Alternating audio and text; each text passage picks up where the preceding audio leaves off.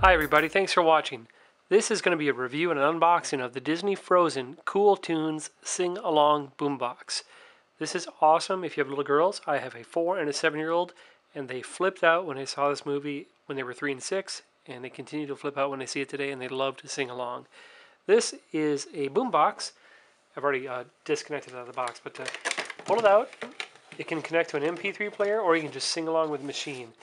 Going over some of the features, it says on the back that uh, your little princess is sure to sing her heart out with this adorable boombox inspired by the hit movie Frozen.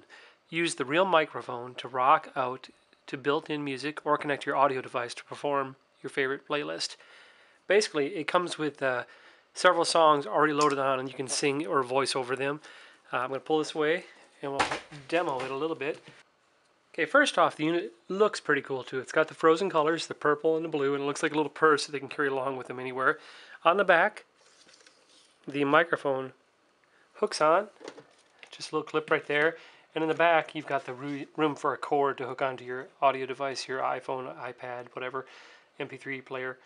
Uh, and that closes for easy storage. But on the front, it just has a power button, uh, MP3 music, or uh, play or repeat mode, or song select to switch to a different song. So we'll turn it on first. Plays a nice little jingle. And I'm going to press a start. Play. Anna and Elsa can't wait to hear you sing along. Bear song.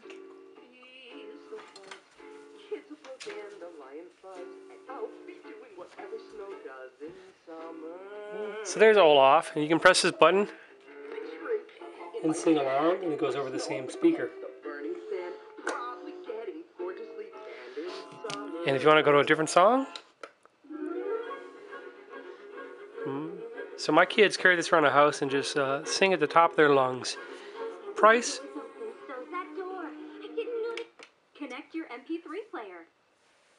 Power off. We've had. there we go. We've had this thing for a couple of months. We're still on the original batteries. Uh, price for this, I think we paid between thirty and forty dollars. Uh, durability, I don't know because we keep it in the house. We don't take it around on trips or bang it around, but uh, it's held up well so far. So I give this thing two thumbs up. If you have little girls that are wild about the movie, they're going to flip out over this, and it's kind of like an on-the-go uh, karaoke machine. If you like my videos, hit subscribe. I put new toy videos on all the time, and as always, thanks for watching.